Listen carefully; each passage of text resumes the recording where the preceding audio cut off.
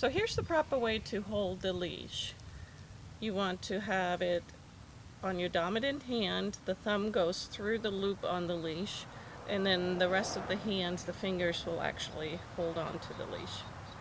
Easily can switch hands, so even if your leash is wrapped around behind you, uh, you can open your hand, slide the other hand, thumb through, and so you always have a good grip on the leash.